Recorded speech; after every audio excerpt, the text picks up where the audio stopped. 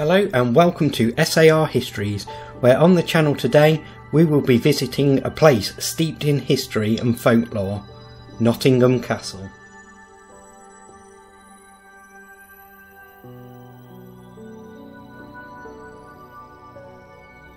After William the Conqueror's decisive victory at the Battle of Hastings in 1066, the Normans took control of England, though William faced insurrection and the North was especially rebellious.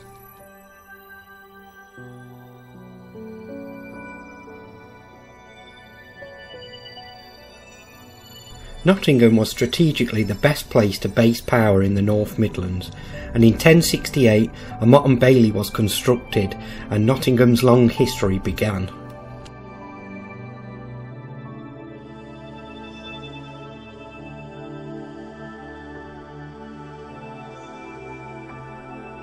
Nottingham was of such strategic importance that William the Conqueror appointed his trusted friend William Peveril as constable Peveril's heirs continued to be constables until 1155. Control of the castle then passed to the newly crowned Henry II.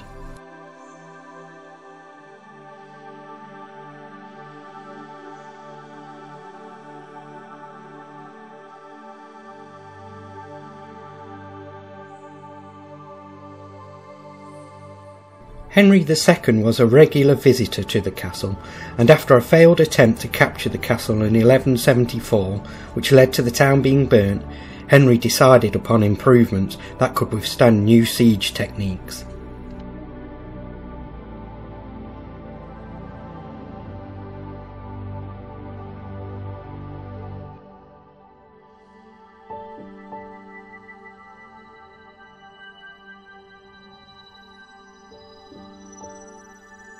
Records from the Royal Exchequer reveal how Henry II spent £1,800 over 18 years on building work at Nottingham Castle. The average entire annual revenue of the Crown at this time was only about £10,000.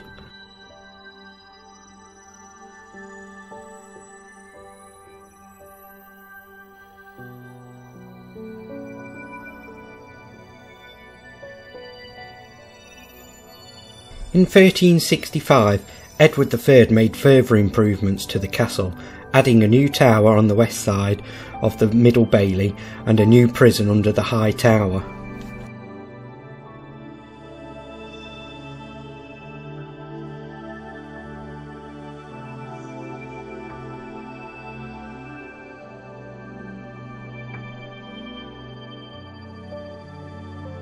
By 1600, the castle ceased to be a royal residence.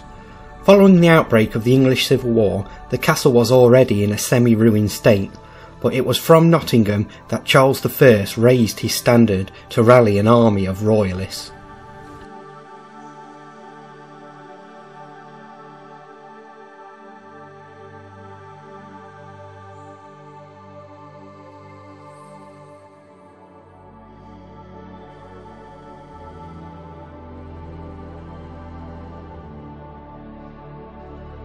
In 1651, just two years after Charles I's execution, the castle was razed to prevent it from being used again.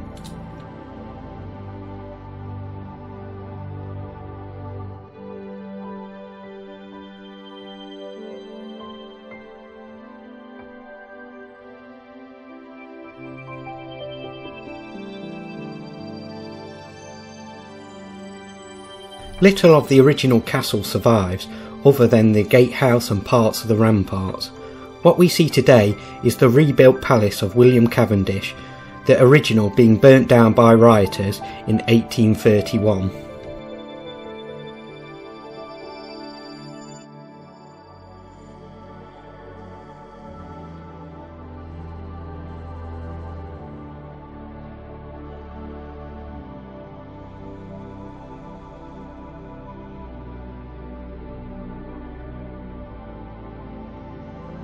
What I liked about the castle's grounds is the picture boards that give you a view of the old castle. You will find these dotted about and are well worth viewing to gain a sense of the castle's past.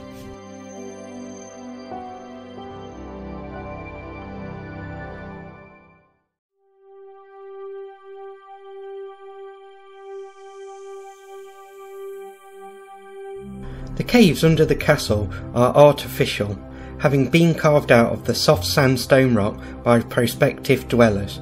In fact, Nottingham City has more man-made caves than anywhere else in Britain, making the caves a site of vast importance to the heritage of Britain.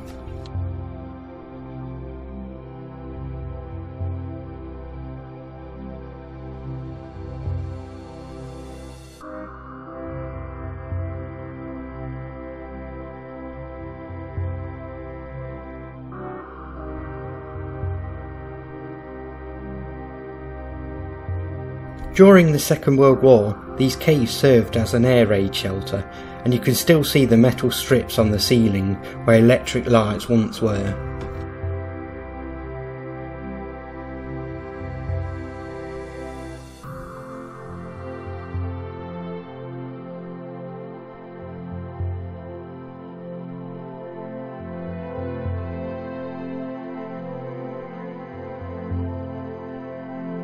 These caves are an upcharge tour of which you only get to see three caves, one of which is a brick cellar.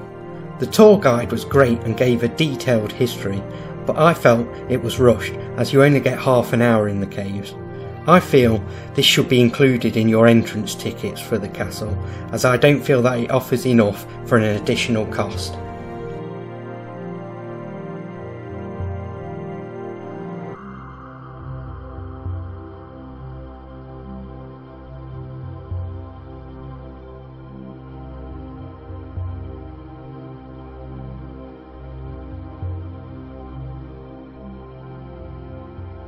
What little time I had in the caves was enjoyable, and I liked seeing the Norman arches, tool marks, and names scratched into the stone. But if you think that the caves are full of crystals like elsewhere, you'll be disappointed.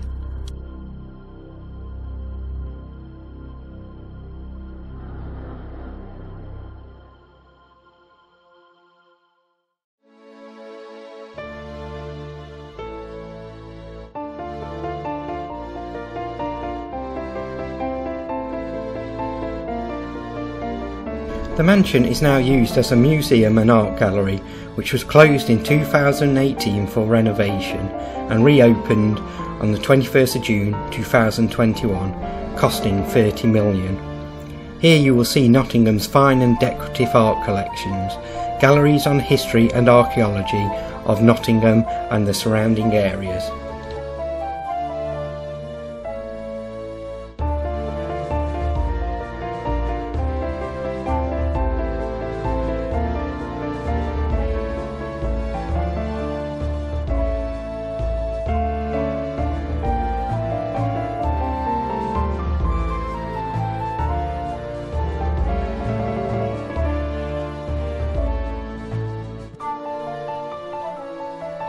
The Rebellion Gallery has some fascinating objects which you can spend some time gazing at. My particular favourite is Lady Lucy Hutchinson's memoir, which is left open for you to read. There is also a display of the convicted Luddite rebels who went about destroying machinery through protest, which is of great interest.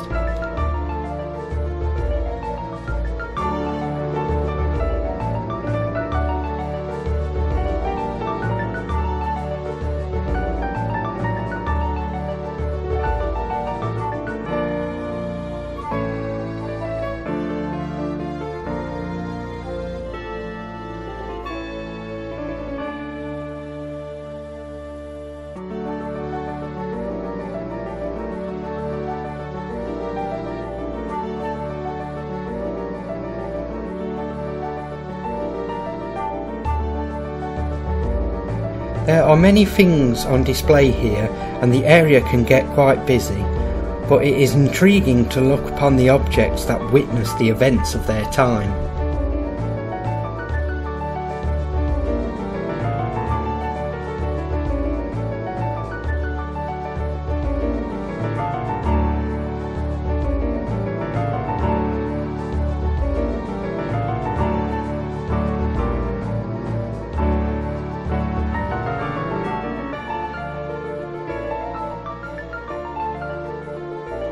It is evident from this gallery of Nottingham's rebellious past and connection to the Royalist cause during the Civil War, and it is easy to lose time here.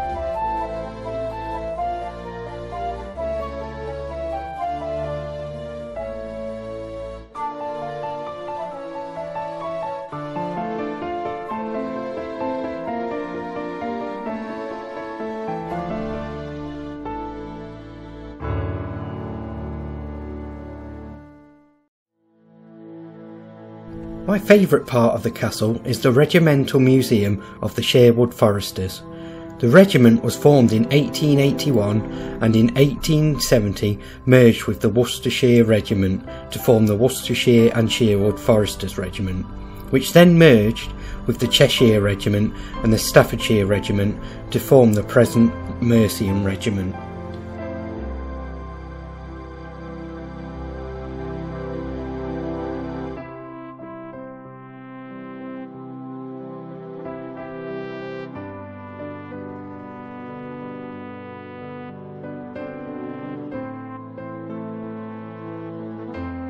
It is a great museum to explore for any military enthusiast. It offers a chance to see weapons, uniforms and medals from the different eras. There is also an opportunity to lift a modern soldier's pack, which is surprisingly heavy, and the pack from a soldier from World War One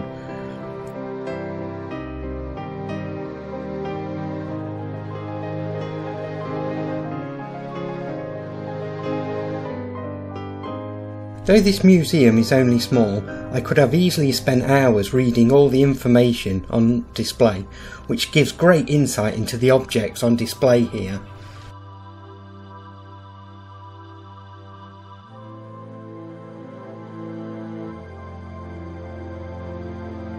The art gallery houses some beautiful objects which you can spend a lot of time admiring.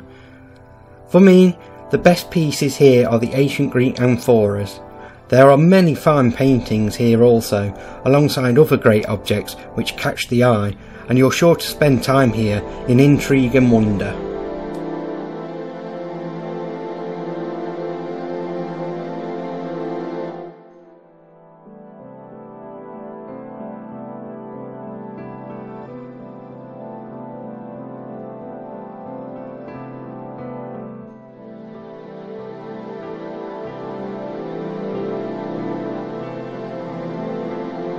Nottingham is closely linked to the infamous outlaw Robin Hood. The castle has an upcharge Robin Hood Adventures which offers interactive games and a retelling of Robin Hood.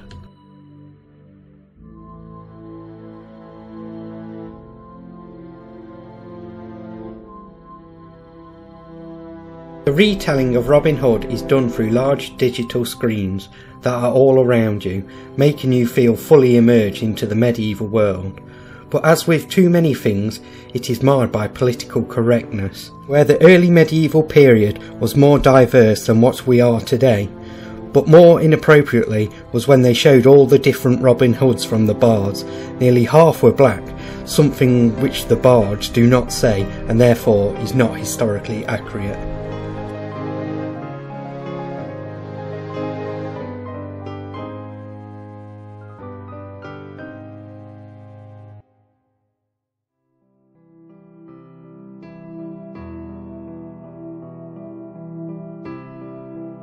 There are also games here which are fully interactive where you can fight with a quarterstaff and try your skills at archery. Though being very enjoyable, you don't get a lot of time, especially if you're part of a big group, so don't expect everyone to be able to have a go.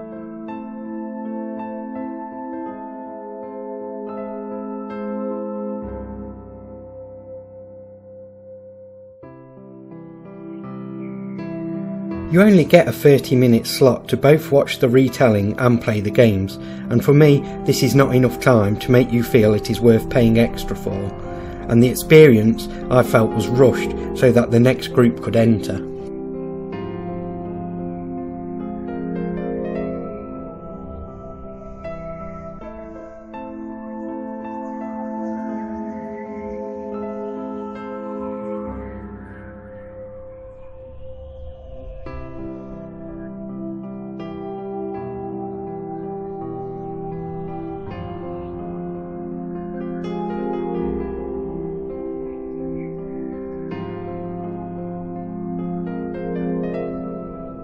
As a whole, I enjoyed my visit to Nottingham Castle, but I left feeling a little disappointed.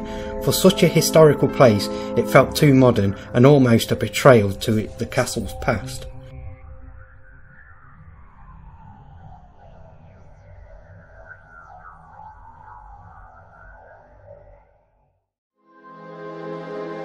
It is worth a visit if you live close enough and are looking for something to do for a morning or afternoon, but I would not want to travel far for it. In the future, I hope they either drop charging for the caves and the Robin Hood adventures, or at least make them better value for money.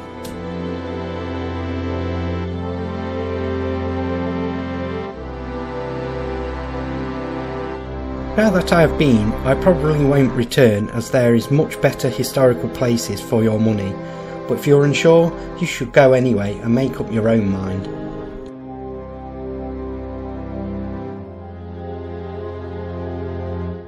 If you have enjoyed this episode, please like and subscribe, and I'll see you all next time.